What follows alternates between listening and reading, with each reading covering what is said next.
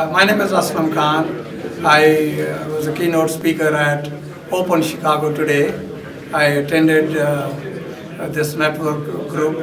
I think this is a very good idea.